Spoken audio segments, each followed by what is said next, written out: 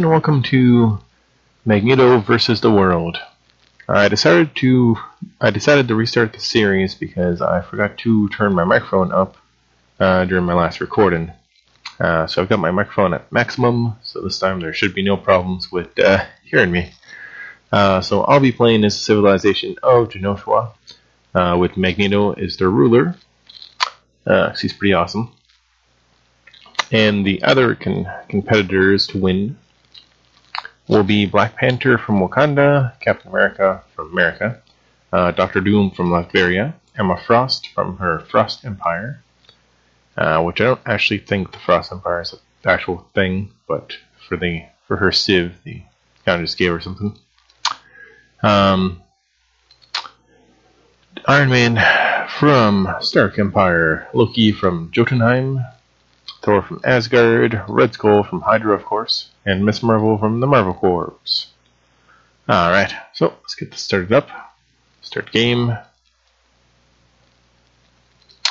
So it has Magneto in the opening.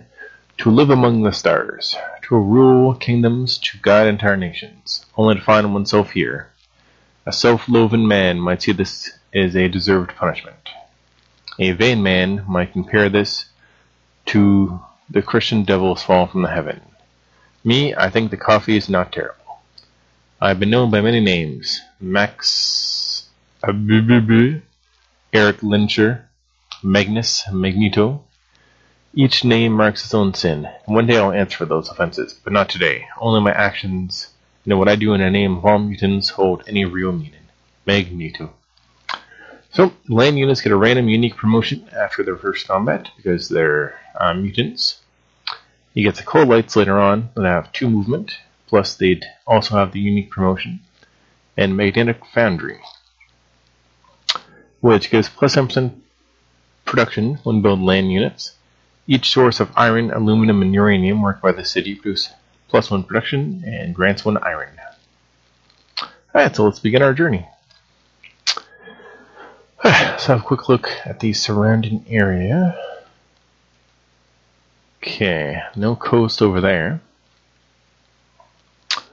So, if I settle on top here, the hill with the sheepy sheeps, that's going to give me a hill, um, river, and I'll be two away from a mountain, which is a pretty good spot to start.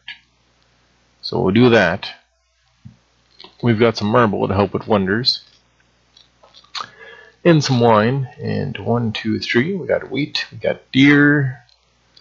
And we're in the plains, so there's uh, lots of uh, lots and lots and lots of production. So it's a pretty good spot. So click next turn.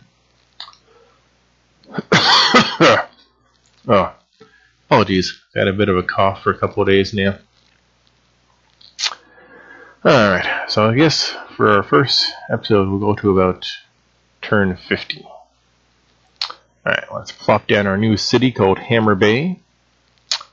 Uh, we'll keep exploring this way. Hey, we found some ruins. And a pretty good spot for a second city. Lots of wine, some jungle area. Looks pretty nice, actually. Alright, so um, I think to go pretty long term with my my stuff. Um, wait a minute. Writing is what I'm supposed to do first. Adur. Then we go bloop, bloop, uh, let's go bloop, bloop, bloop, bloop. Then we'll go all the way over here and go bloop, bloop, bloop, bloop, bloop. And then bloop. Man. So now we don't even have to worry about research for like the longest time ever.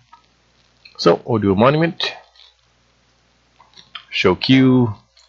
Add queue. Monument worker.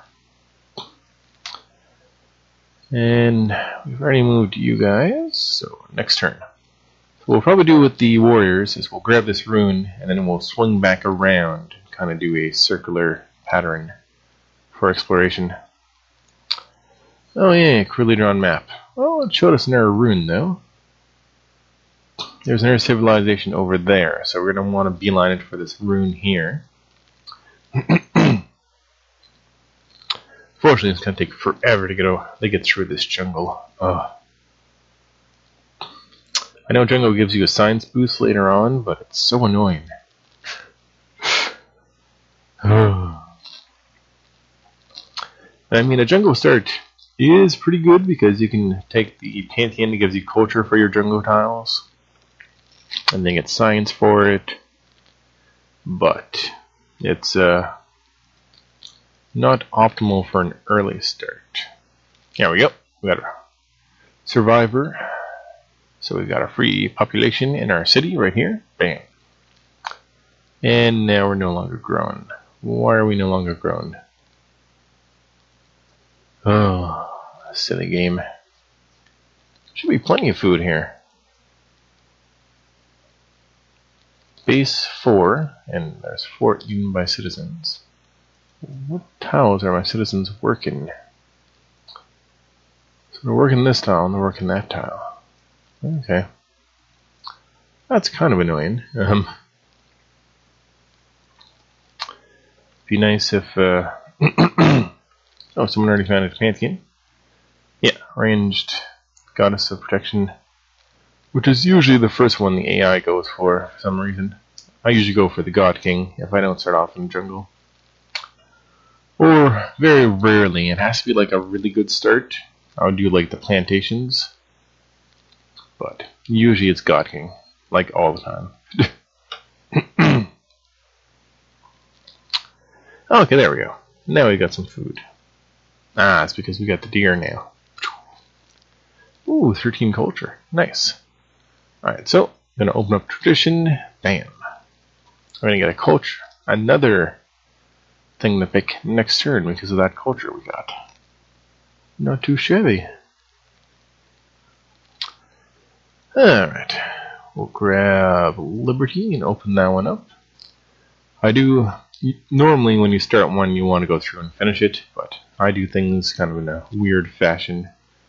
It puts me behind in a way, certain ways, but I think it, I feel it also helps me get ahead in other ways. But we'll, we'll see how that works out. We'll go go around here, I guess. Go around the mountain.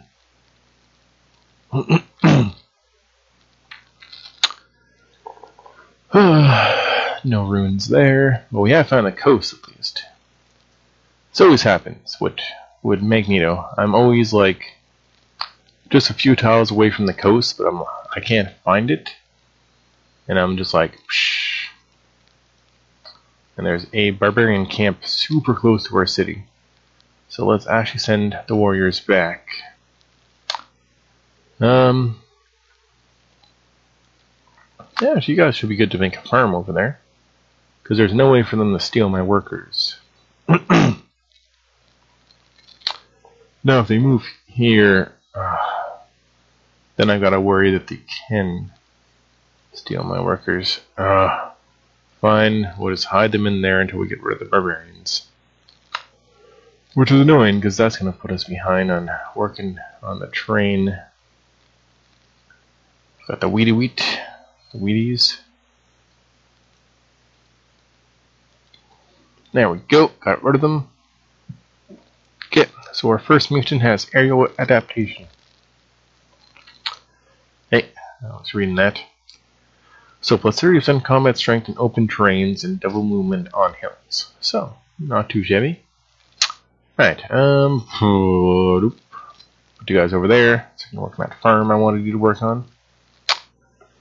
So we're actually going to get the shrine, the monument, and we built a worker done before we get uh, our writing, because once we get the writing, we've got to uh, beeline the uh, the great library to library to the all the booky books. Because the Great Library is always one I go after. Which is usually why I do this weird one. Like, this weird way. Because usually, before I start, I can usually open both of these and get this, which gives me plus 15% production when building wonders. And happiness doesn't really matter um, yet. And then this is the next one I go for, is Republic, which is plus 1 production in every city, and 5% production in cities when constructing buildings. Then I grab the free settler. So we'll work in a granary for one turn. Oh, there's a ruin there. Alright, so this is a plane, so we should have troops and combat bonus there. Which we did not seem to. oh, good times, good times. Um, let's go with shock. We'll heal up just so we don't lose them.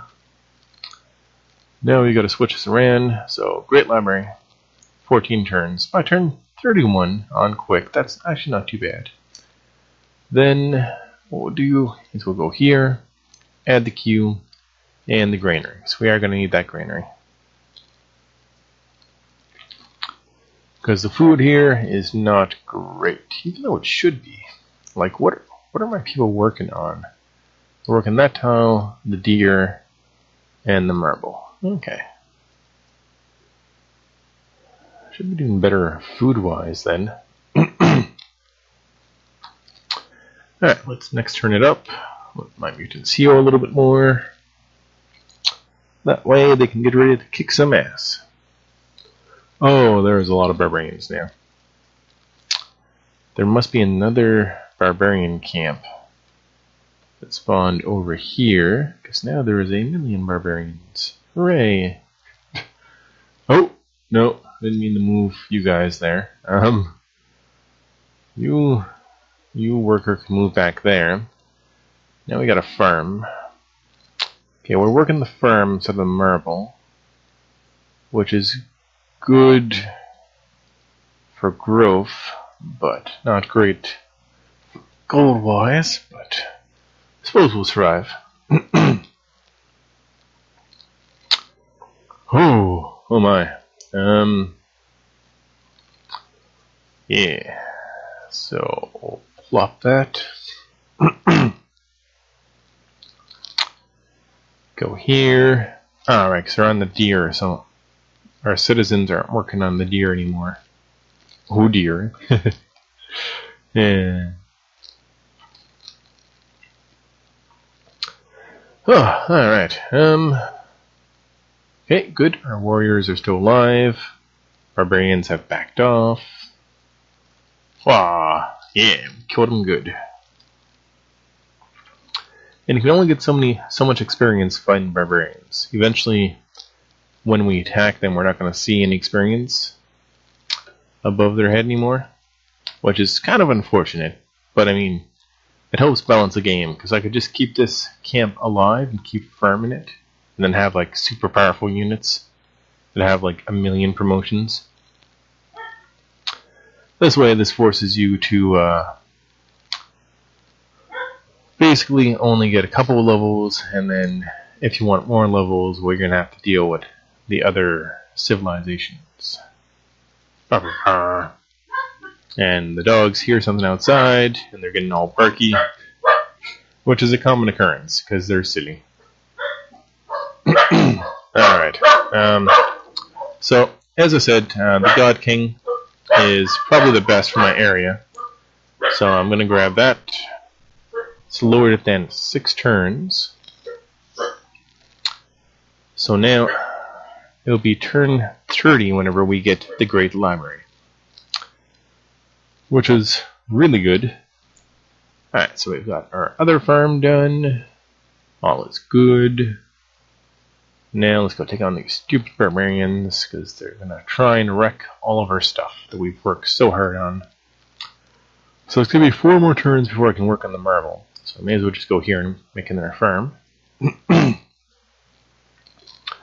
so unfortunately my gold's not doing so well. Uh, would have been nice to uh, purchase another unit and see what other promotion I got. Alright, so it's always best to hit them with range before you do the melee. That way your melee units will take less damage. So let's grab Republic.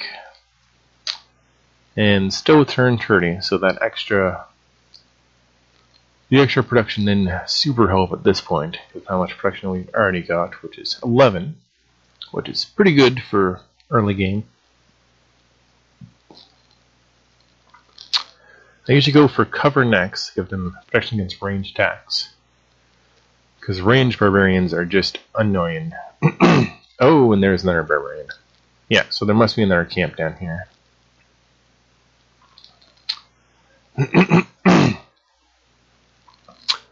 I feel kind of hesitant leaving my workers out there, but they, they should be fine. I'll wait for my warriors to level up first, and then, or to level up, to uh, heal up first. Then I'll send them back to uh, dispose of the uh, barbarian camp. Now I'll probably have to send them up here to see where all these barbarians are coming from up here. Uh, barbarians are just awful. Yeah, great library. Wham. Alright, that barbarian's almost dead. So, I usually grab uh, drama and poetry. Bam. That launches us into the classical era. So, uh, now we'll add some stuff to the queue. So I can build the mausoleum, which you gain 100 gold each time a great person is expanded. So I'll show you that later once we start getting great people. Each source of marble or stone worked by the city produces plus 2 gold. We got a source of marble. So we'll go for mausoleum. Pyramid requires liberty, which is why I open it. Tile improvement construction speed increased by 25%, and we get two free workers. So we'll grab that. Then we'll queue up the Parthenon. Basically, all the Parthenon does is it gives us plus 4 culture, and it gives us a great work of art or artifact slot, and it gives us a pre-built great work of art. Uh, so that's helpful if we decide to go for like the uh, tourism victory, where we try and spread our tourism to everyone else. Um, it, there used to be a, an actual culture victory, where if you finished like three or four of these, you'd win.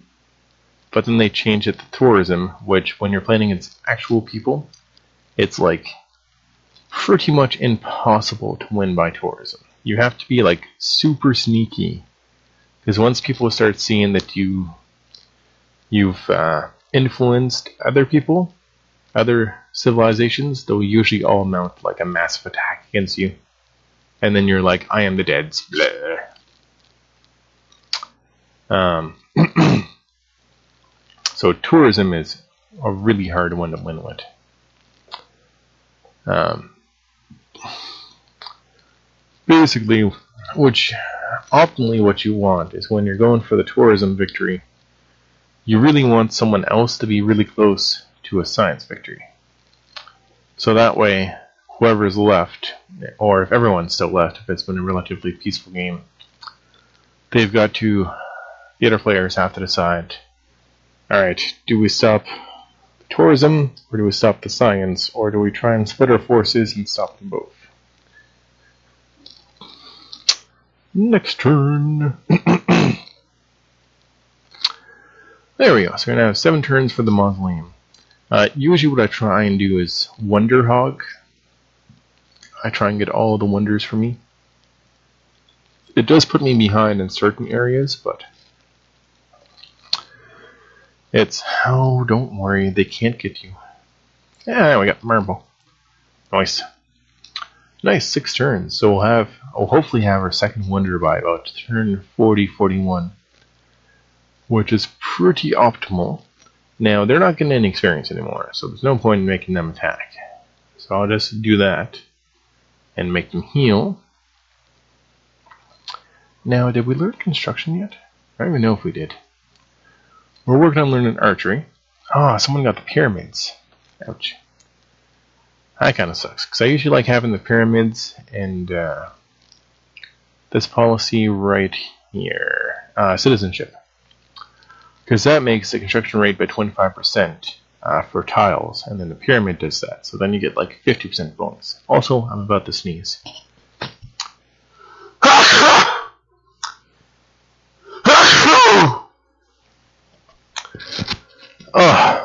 For that. My uh, for some reason, ever since I upgraded to Windows 10, nothing seems to work correctly anymore, so I had to buy like a cheap headphone to do my recordings because my uh, my good headphone had like a million percent static since I upgraded to Windows 10. And I was supposed to stay there to see if I could actually build a lumber mill yet. I am smart. Oh, I'm actually pretty sure I can't, so. if I can't, our next destination is to go to the deers. Uh, no, we're, I think we're working on that now, actually. So yeah, we'll head over to the deers and see what we can do over there. So, one more turn left for the mausoleum. Hopefully none of the uh, compu computer AIs grab it. So we worked long and hard on the mausoleum, so that'd be like super unfortunate if they, uh... Yeah, we can't get the deer anymore. I hate barbarians so much, like... Fine, we'll go get the horses. Alright, free settler which spawns as close as possible to the uh, new barbarians. Excellent. Alright, um, there's a couple places. Uh, this place looked pretty good. It had lots of wine. But I do kind of want a coastal city, and this would be shorter to make a road to. So I could put it, I guess, here. And we'd get the wine, we'd get the wheat, we'd have a hill and we'd have a coastal. So I think I'll do that. I'm going to have to put them here and then put them here. Got to go kind of a safe route because of all these stupid barbarians. Oh, we, we met Thor. Ah, he took Ruin. Ah, Thor, you suck. I guess to have to heal. So we met we met Thor. So is this Thor? I don't think so, because that looks like different colors. So I can't remember. I'm not actually sure who's down there, but we are going to find out at some point. Alright, what's an embassy? Alright, let's accept your embassy, Thor. Okay, you're way down here. Alright. Now what are you doing down here exploring, you big jerk face? Hopefully he'll deal with those barbarians. Uh, so we took 15 damage, but we heal for 20, so you know. Uh, we're fine to just stay here and heal until we feel confident enough to get these hand axe barbarian jerkwoods. Hmm. Actually, it might be worthwhile settling here. It'll still be relatively short and we'll get more tiles for this city. Yeah, we'll do it that way. We can shoot someone, these new barbarians that are approaching. Whoa! oh, that went poorly. I think we've just lost our first Genoshan mutants. Because these barbarians are probably going to run down. Oh no, they're still alive. That's amazing. Shoot them. Shoot them with prejudice. Um, I don't like my odds. It seems like I'd win, but just to be in the safe side. Um, so I guess we'll start on a shrine here, because we do want to try and get our religion. I remember, did I get the mausoleum? I got the mausoleum. So you can always see your wonders when you look inside the city. So I got the Great Library, the mausoleum, the palace, what you start with. And then these are all the buildings I got. My library is free. It doesn't have any upkeep because of the Great Library. So now we're working on the Parthenon. I'm going to add the queue, the temple, and the Writers Guild. Uh, actually, her. Actually, I kind of want to go look at the queue now.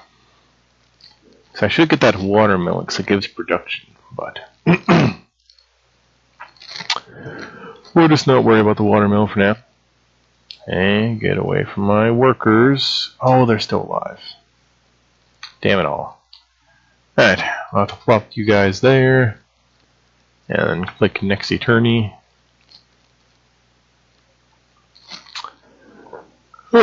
turn 44, so in a couple of turns we'll be done of our first installment of uh, Magneto versus the World redone. I think those barbarians just suicided against my work, my warriors, so that works out pretty good.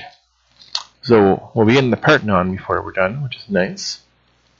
I don't have calendar yet. Oh, that sucks. But I am getting construction next turn, so we'll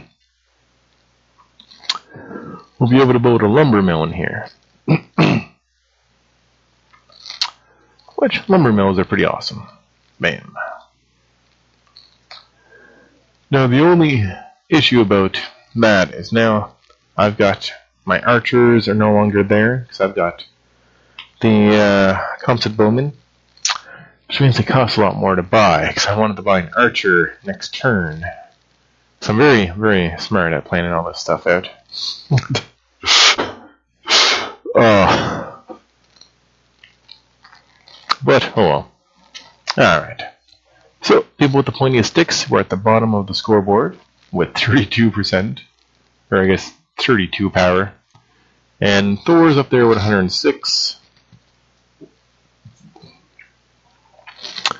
Makes sense. Thor's Thor's are pretty pretty uh not warmongery, but you know.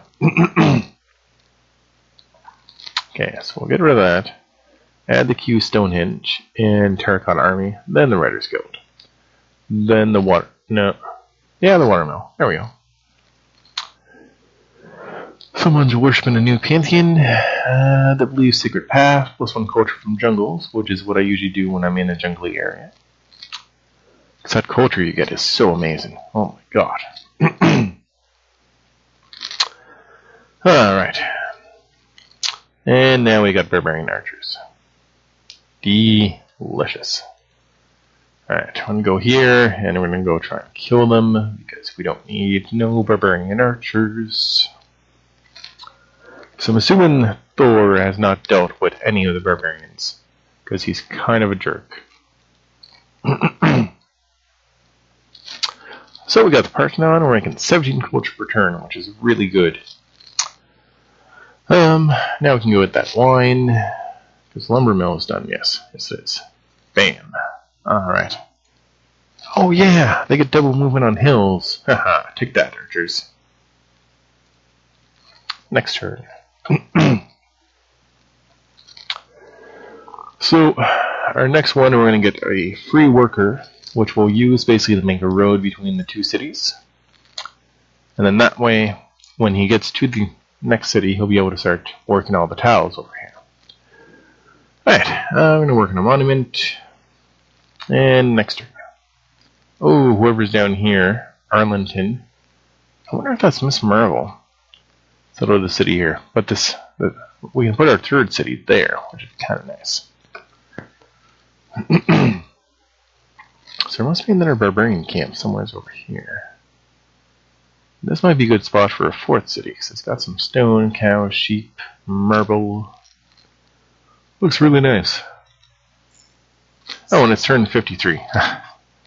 Alright, um, so thank you very much for watching, and tune in next time for more Magneto Madness. Thank you very much. Goodbye, everyone.